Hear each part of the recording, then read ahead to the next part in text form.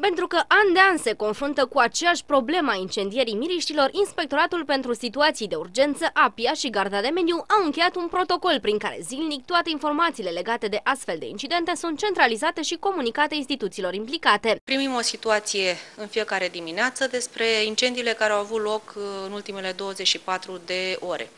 Ținând cont de faptul că suntem foarte puțini și că nu este singurul obiect de activitate verificare a miriștilor. În paranteză fie spus, mai avem în derulare o serie de controle tematice solicitate de Garda Națională de Mediu. Încercăm să acoperim atât cât putem uh, aceste uh, incendii și uh, mergem de regulă acolo unde sunt suprafețe mari de teren afectate. De regulă, în astfel de situații se încheie un act de control cu primăria. În ultima perioadă, incendiile de miriști au afectat și circulația pe autostrada București-Pitești. Am uh, făcut verificări la Florești-Toienești, spre exemplu, pentru că a fost un incendiu de vegetație erboasă în imediata vecinătate a autostrăzii București-Pitești. Atunci chiar s-a oprit circulația pentru o jumătate de oră.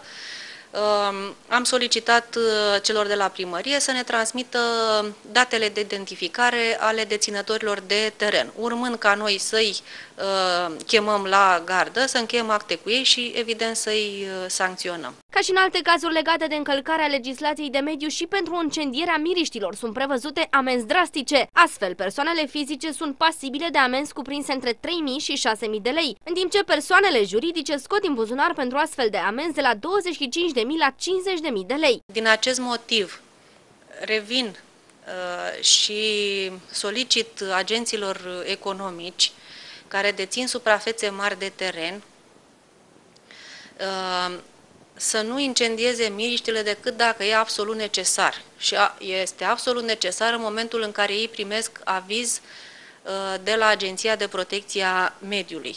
Incendierea miriștii se face numai în situația în care unitatea fitosanitară de la Direcția Agricolă spune că acea cultură a fost infestată cu dăunători și că este singurul mijloc de rezolvare a, a problemei. Instituțiile implicate în combaterea incendiilor miriștilor se confruntă cu mari probleme în ceea ce privește identificarea autorilor. Noi nu putem să facem cercetare, nu suntem pregătiți pentru, pentru așa ceva, de aceea apelăm la primării pentru identificarea uh, proprietarilor de teren, dar aici intervine o problemă.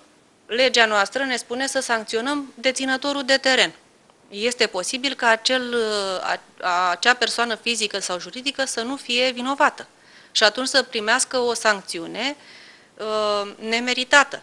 Este posibil, așa cum spun colegii de la Inspectoratul pentru Situații de Urgență, să fie cauza să fie un muc de țigară aruncat și la temperaturile astea este posibil să se întâmple așa, sau cioburi de sticlă uh, sub influența razelor uh, soarelui. În opinia specialiștilor de la Garda de Mediu, singura soluție pentru rezolvarea definitivă a problemei incendiilor de miriști este interzicerea completă a acestor operațiuni.